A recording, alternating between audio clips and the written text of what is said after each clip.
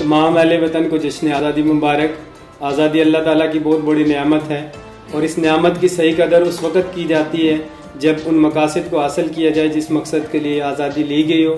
پاکستان اللہ تعالیٰ کا ایک خوبصورت تحفہ ہے ہمارے لیے اور یہ ہمارے بزرگوں کی بے شمار قربانیوں کے نتیجے میں مارز وجود میں آیا ہے۔ ہمارے بزرگ یہ بھی قربانیاں دے رہے تھے تو ان کی آنکھوں میں کچھ خواب تھے۔ وہ خواب یہ تھے کہ یہاں پہ ہر بچہ تعلیم کے میدان میں آگے بڑھنے والا ہو، ہمارا ہر نوجوان اپنے سے بڑوں کا احترام کرنے والا ہو۔ تو ہم نے اپنے ان بزرگوں کی خوابوں میں رنگ بھرنا ہے۔ اس طور کے ہم نے تعلیم کے میدان میں آگے بڑھنا ہے۔ اس طور کے ہم نے اخلاق و کردار کے میدان میں آگے بڑھنا ہے۔ اور دنیا کو وہ مثالی سوسائٹی دینی ہے جس کے لیے آج دنیا ترس رہی ہے، تو اگر ہم اپنے طرف سے یہ اپنی زندگیوں کو نبی مہربان صلی اللہ علیہ وسلم کی تعلیمات کے مطابق ڈالنے میں کامیاب ہو گئے، تو ہم اس مقاصد کو حاصل کر لیں گے جو ہمارے بزرگوں کا خواب تھا۔ تو اللہ تعالیٰ ہمیں ان خوابوں میں رنگ بھرنے کی توفیق عطا فرمائے۔ پاکستان زندہ باد۔